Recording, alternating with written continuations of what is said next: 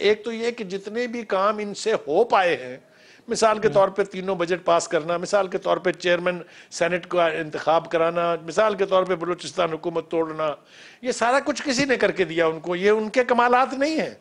और इसके ऊपर भी डिबेट हो सकती है जिसका दिल चाहे मुझसे डिबेट कर ले मैं बता दूँगा कैसे हुआ ये। तो उनके पहले तो काम करके हलवे की तरह से उनको दिए जाते थे मौल, जो, जो मौलाना को जुमेरात को हलवा बेचते हैं। लेकिन अब चूँकि वो नहीं है तो इसलिए अब हलवा खुद पकाना पड़ेगा। बुखारी साहब अब हलवा खुद पकाना पड़ेगा। ये ये मैं इसीलिए तो मुश्किल हो रही है। ये एक बात उनको बहुत पहले समझ लेनी चाहिए थी कि अगर वो इस पर तकिया करके बैठ जाएँगे कि उनके लिए हर काम कोई कर देगा तो इसकी एक मुद्दत होती है। अच्छा बुखारी साहब ये, ये इसलिए कोई ये, कोई भी काम नहीं हो रहा। बुखारी साहब यही हलवा मौलाना साहब को तो नहीं मिल गया?